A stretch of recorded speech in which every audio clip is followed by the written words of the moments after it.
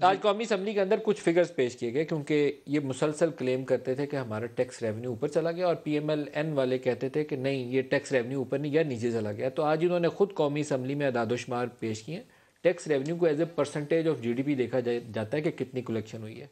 पिछले तीन साल के अंदर as a percentage of GDP tax revenue नीचे आ, नीचे आ गया। दस हज़ार या एक से नौ अशारिया छः फिर नौ अशारिया नौ फ़ीसद। अभी भी उतरा नहीं है जो 2018 में था तो कोई सूरत हाल तो अच्छी नहीं है। जावेद तीर साहब। कोविड क्या कोविड ये जो मौजूदा हालात हैं? आप कोविड से पहले नौ अशारिया छः में जा चुके थे। सर कोविड से पहले बंद हुए।